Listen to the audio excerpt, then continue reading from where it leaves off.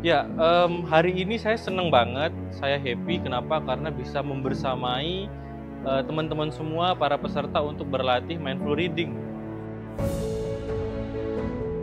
Nah, pada kesempatan kali ini kita sama-sama melatih diri kita untuk bisa fokus ke aktivitas membaca. Kita bisa lebih meresapi, menyadari, bahkan memaknai setiap tulisan yang sedang kita baca. Untuk acara sendiri aku merasa sangat terbantu dan juga lebih memahami uh, mindfulness. Semoga teman-teman di sini juga sama-sama nanti kita bisa sama-sama berkembang di sini ya.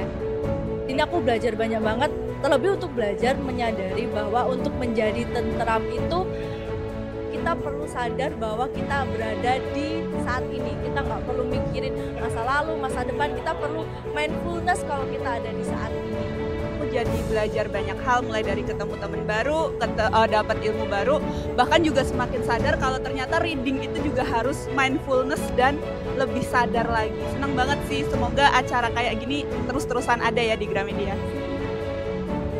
Namaku Regina Amelia. Aku seneng kok menggambar. Nah ini adalah pertama kali melukis dengan media potri. Biasanya kan uh, anak kanvas atau media uh,